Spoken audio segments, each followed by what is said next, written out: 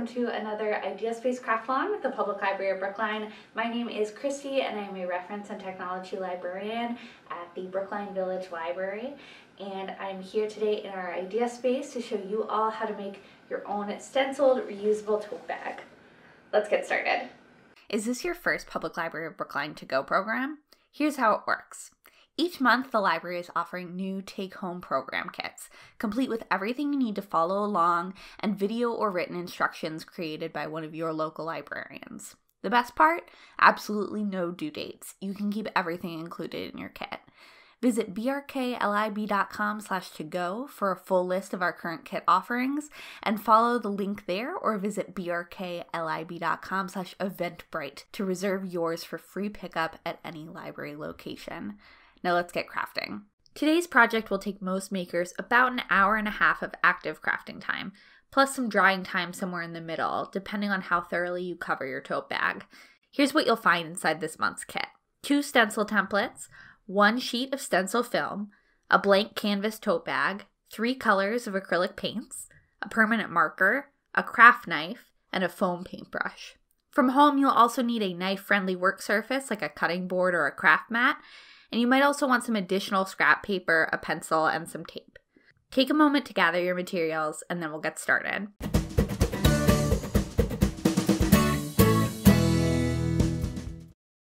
We've included two stencil templates in your kit one with simpler geometric shapes that's a bit easier to cut, and one with more organic shapes with some trickier curves. You're also welcome to design your own stencil template. Just flip over one of ours and sketch your own design with a pencil. If you'd like to add text or more complex shapes in your stencil, just keep in mind that you'll need to be sure that any uncolored shapes you want in your stencil will be connected to the outer frame or they'll fall out when you start to cut. You can fix this by adding small connecting lines to any floating shapes.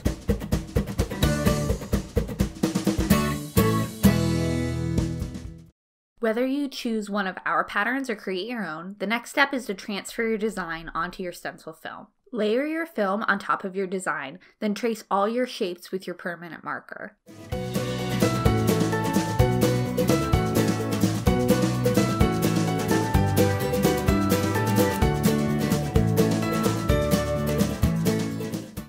Next, get your craft knife and cutting surface ready. As a reminder, your craft knife is sharp. Always keep the blade retracted when not in use and be careful to cut away from your other hand in case the blade slips.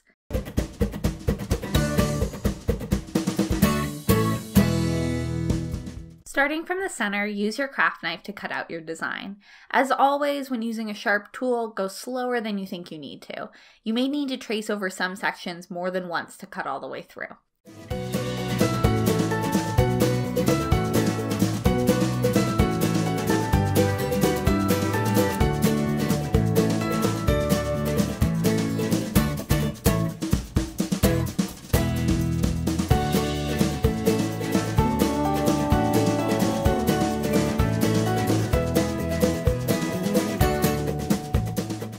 Once your design is fully cut, you're ready to start stenciling. Throw away any extra plastic scraps and don't forget to retract that craft knife.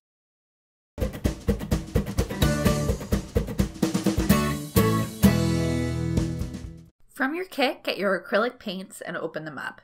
We've included three colors, but you can also add your own from home or mix your colors on a palette to create new ones. I decided to improvise a bit on my bag here, but you can also use your paper template to plan out what colors you'd like where. Lay your canvas bag flat on your work surface and decide where you want your stencil. Keep in mind that your stencil is reusable, so you can repeat all or part of your pattern on different parts of your bag. Whichever template you decided not to use, tuck it inside your bag underneath the area you'll be stenciling to prevent paint from bleeding through.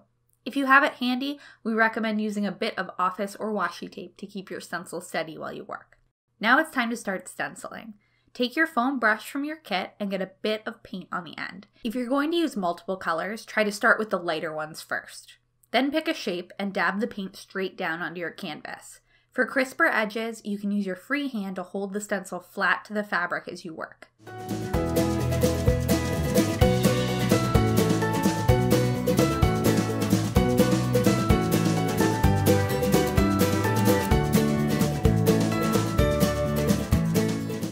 When you're ready to start a new color, just rinse out your foam brush in the sink with some warm water until it runs clear, and pat your brush dry with a paper towel.